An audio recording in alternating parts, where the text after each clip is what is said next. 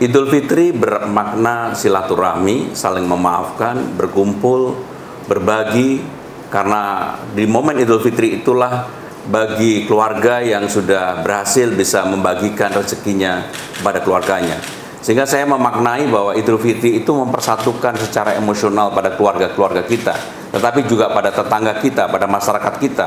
Dan Idul Fitri adalah budaya yang mungkin berbeda dengan budaya di Arab karena mereka Idul Fitrinya berbeda dengan Indonesia karena Indonesia penuh dengan kekeluargaan, penuh dengan keakraban, penuh dengan uh, silaturahmi. Sehingga saya memaknai Idul Fitri betul-betul kita tunggu dan membahagiakan bukan hanya bagi orang tua, terutama bagi anak-anak.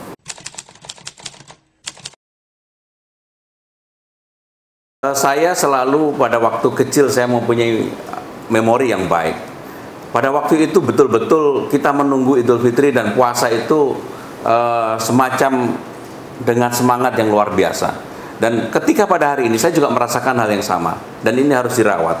Dan apalagi sekarang ini ada sebuah tradisi baik ketika Idul Fitri kita berkunjung kepada orang yang kita tuakan, kepada uh, orang tua kita, kepada orang masyarakat atau pada tokoh dan di sanalah kemudian kita bisa berbagi kemudian kita juga bisa bersilaturahmi, saling mengerti, memaafkan, dan tentunya bagi yang mendapatkan rezeki lebih banyak, waktunya berbagi pada keluarganya.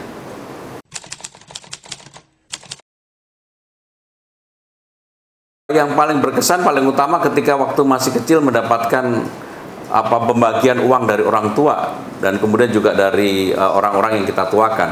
Nah sekarang ketika kita sudah menjadi orang tua tentunya kita juga harus berbagi kepada yang perlu dan pantas untuk kita bagi.